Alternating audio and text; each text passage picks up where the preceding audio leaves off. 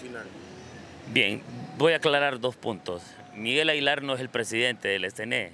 Eh, ya está muy claro que él está usurpando el puesto y en definitiva Miguel Aguilar eh, no ha tomado una posición real, congruente y contundente con respecto a, los intereses del pueblo, pueblo.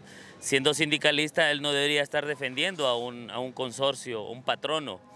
Es aquí donde queda a, a, la luz, ¿verdad? Queda muy bien claro que el, el en ningún momento tuvo que haber hecho una, una asociación ahí, ya que la ley sencillamente no se lo permite. Yo creo que eh, hoy por hoy lo que se dijo y se denunció por parte de Ángela Reyes hoy se está cumpliendo.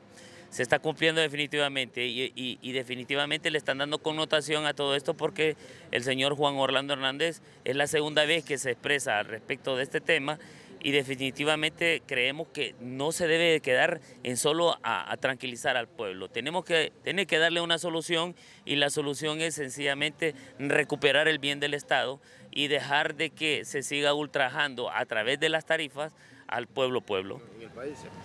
Bien, mire, e, ese tema, recuerde que hay un conflicto de intereses y toda esta pugna que hay dentro de lo que es al interno de este consorcio por parte de la facturación y la parte de generación no están cuadrando con respecto a los cobros que se están haciendo.